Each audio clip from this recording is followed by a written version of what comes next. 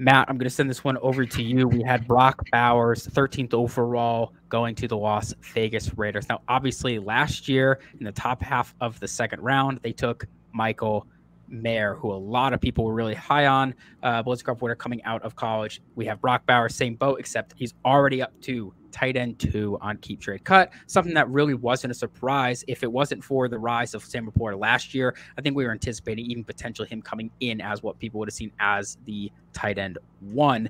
Michael Mayer down at tight end 19, a guy who keeps falling. He was closer to 12 and has just slid, slid, slid back.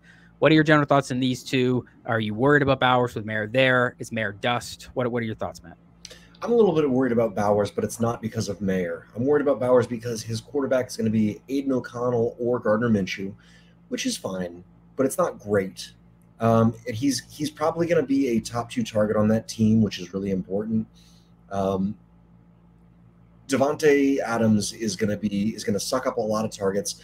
Hopefully, Brock Bowers can just feast as the number two, who who gets a little bit of uh, relief from Davante Adams taking so much coverage. I don't know that that's going to happen. I think that if you are not comfortable having him at tight end too, I'm with you. Uh, that's a very high price for something that's unseen in a situation that's not ideal. Uh, it really, really sucks for Michael Mayer. Uh, he's ranked as KTC's tight end 19, which is is fine. It makes sense. You know what it reminded me of? If he were to take his best step forward that he possibly could, in this situation, what we're probably looking at is an Isaiah Likely uh, archetype, right? Where, you know, really good when the top five in the NFL tight end in front of him is injured and not on the field. Then maybe Michael Mayer can step up and, and give you week weeks that you can use. And so I looked up uh, what Isaiah Likely's tight end rank was on KTC, and they're neck and neck. It's uh, Isaiah Likely, tight end 18, and Michael Mayer, uh, tight end 19. That's very fair. Uh, I don't know what you want to do with that, but it's a pretty clear picture.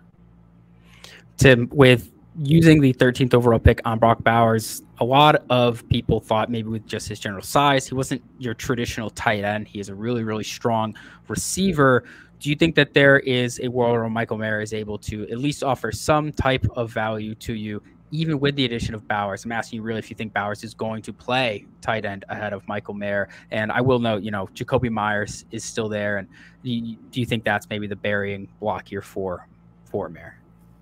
Well, I think I don't know for certain at this point because we just don't know what the coaching staff's going to do. But I think that the drafting of Bowers um, symbolizes or, or, makes it significant that they're going to try to run two tight end sets a lot more, which means to me, I feel they're going to run the ball more. So I think that the passing opportunities are going to be limited anyway. So I do think that they will both be on the field playing tight end. I just, I've always been on the side that for me, uh, Mayer always needed to have like Jason Will, Jason Witten esque volume to be useful. So he probably will have some random weeks he pops off with touchdowns, but for me, there's no value to hold on to him. Very tough. Very disappointed to see for anyone who was collecting up some Michael Mayer before this draft. I personally was uh, not very happy. If you were in the JWB Discord when that pick was made, uh, it was rest in peace to a couple shares I have of Michael Mayer that I picked up uh, pretty cheap, I will say, at least this summer. Uh, but we're going to push forward into what is really an exciting pick here